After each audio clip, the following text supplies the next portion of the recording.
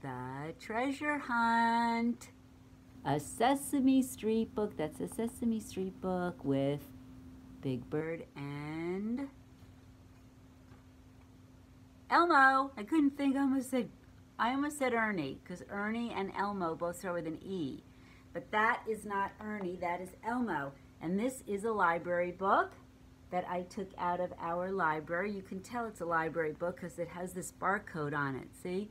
This is what the person at the library who works there uses to scan a library book so somebody can borrow it. So Graham borrowed this and I want to read it so I can return it and someone else can check it out. Right? That's how a library works. We borrow, which means we always give it back. All right. Let's see. Oh, I forgot to read part of the title. It says it's a story about geography and maps. So they are looking at this map and they're trying to find the treasure. All right, let's see what's happening. One afternoon, Elmo was sipping a Figgy Fizz float at Hooper's store. When Big Bird burst in, Elmo, he shouted excitedly, look what I found in my mailbox this morning, a map! Oh, said Elmo, what's a map? A map is a picture that shows us where places and things are, answered Big Bird as he spread the map on the counter. I bet this one is a treasure map. There it is. Did you guys recently have a treasure hunt? I think I saw that. Look at Graham's curl here. Oh my gosh, look at this. Did you have a treasure hunt with that mommy made for Clayton? Maybe you they used Did you have a treasure map that looked like this? Elmo recognized the first picture on the map right away. It showed a nest, a mailbox, and some doors. It was Big Bird's home. Where is that? A nest? Oh, there it is. The first one. The treasure hunters scurried off down Sesame Street towards Big Bird's nest. There they go. When they got there, Big Bird and Elmo compared the nest with the picture on the map. Look, Elmo, said Big Bird, here are my doors on the map, and there are my real doors. There's my mailbox, and here it is in the picture. Yippee, said Elmo. Yippee! Can anyone else say yippee?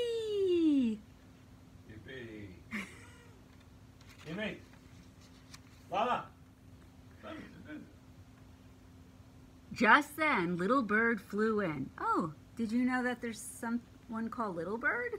He's cute. He carried two bright balloons in his beak. Here is your first treasure, he chirped. Neato, said Elmo. Oh, look, they got like a little prize at the treasure hunt. They got two balloons. And there's the map again. Little Bird gave each of them a balloon. Where to next, Big Bird wondered and looked at the map again. Where will they go next?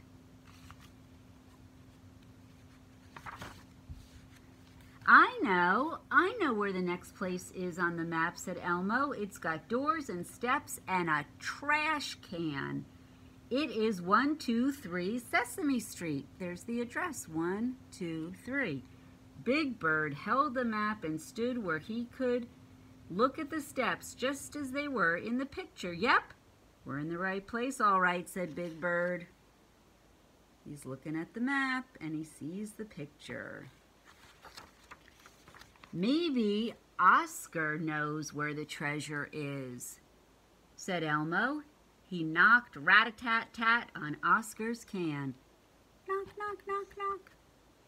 Oscar popped up and shoved two paper hats into Elmo's hands. Here's your treasure, grumped Oscar. Now get lost. The grouch banged the trash can shut. Big Bird and Elmo laughed and put on their party hats. Wow, they have balloons now and party hats. Huh, that's very interesting. Big Bird looked at the map again to see where to go next. It showed a picture of a tree with a swing. There was only one place that could be, the arbor area. Big Bird and Elmo zipped off down the street. There they go. They look pretty happy. At the arbor area, Big Bird checked the map to see if they were in the right place. Surprise! yelled Ernie and Bert. They jumped out from behind the tree and tooted on little horns. Then Elmo and Bert gave the horns to Ernie, I mean to Elmo and Big Bird. Graham keeps doing that because Ernie and Elmo both start with the letter E, and I keep getting confused. Oh, look, there's a tire swing. Who has it? swing. Who has a tire swing? Is that Aunt M's tire swing? The next place on the map was a store. Big Bird recognized the Fix It shop, so Big Bird and Elmo scampered off with their balloons, hats, and tooters. There they go. They look very happy. When they got to the Fix It shop, Big Bird made sure they were on the right track. Sure enough, the picture on the map looked like the Fix It shop. Maria and Luis had taken Gabriella out to the park, so Telly was minding the store. That's Telly. He held two tiny baskets filled with treats. Here's your treasure, fellows. Telly gave the baskets to Big Bird and Elmo. That's really cool. I want to go on a treasure hunt and get little bags of treats.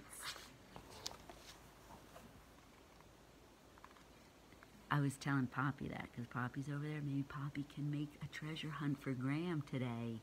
Wouldn't that be fun? What? I think Poppy's like Oscar the Grouch. Is this Poppy? Yeah. Poppy? Yes, it's Bobby. I'm Grouch. like uh, Grover. The next place on the map was a big stone castle with towers and a moat. Why, it's the Count's castle, said Big Bird. Big Bird and Elmo packed, picked up their tiny baskets and tooters, their balloons. They were tied around their wrists, and their hats were snapped snugly beneath their chins. Let's go, said Big Bird, and off they went. Bye, Telly. Ooh, look where the Count lives. He lives in a castle. Greetings, called the Count. Big Bird and Elmo crossed the drawbridge over the Count's moat. According to your map, you are in the right place. You are two wonderful treasure hunters.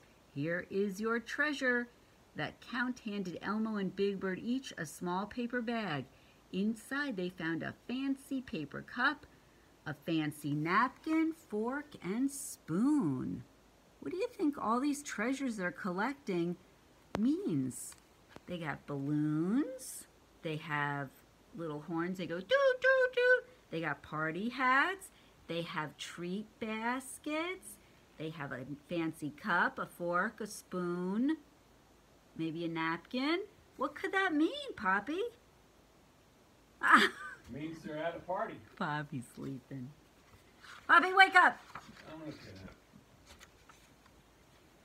Big Bird and Elmo were almost at the end of the treasure hunt. There was only one picture left on the map. It showed a cave. Look at that thing. Big Bird knew only one somebody who lived in a cave. The treasure hunters hurried on through the countryside. Lives in a cave? Graham doesn't know. When they arrived at the cave, Big Bird looked at the map again. The cave door looked just like the one in the picture. Yes, siree, this is the same cave as the one on the map, said Big Bird. It's Snuffy's cave, and he's having a party. Whoopee, yelled Elmo, party. Lots of Sesame Street friends were there. Little Bird, Telly, Ernie, and Bert, the Count, and even Oscar. A feast of Snuffy's favorite food was laid out on plastic tables. Only one thing was missing the Snuffleupagus himself. I remember the Snuffleupagus. there he is. Here I am, snorted Snuffy as he toddled out of his cave. He was carrying a big cake decorated with a picture of a Snuffleupagus. Snuffy, laid the snuffle cake down on the table and cut it into slices. It's National Snuffleupagus Day. Thank you for celebrating it with me, said Snuffy. Big Bird, Elmo, and Snuffy gobbled up their cake. Thanks for the treasure map, Snuffy, said Big Bird. Let's have a treasure hunt every day on Snuffleupagus Day. That was fun. Boy, those Sesame Street guys have a lot of parties, don't they? They eat a lot of cake, too. They're lucky. I would like a piece of cake. Poppy, you want cake? Poppy took a nap. All right. Hope you liked this book, The Treasure Hunt. See you soon. Mhm. Oh, yeah. Oscar the Grouch says, See you soon. Big Bird says, See you soon. With his teddy bear.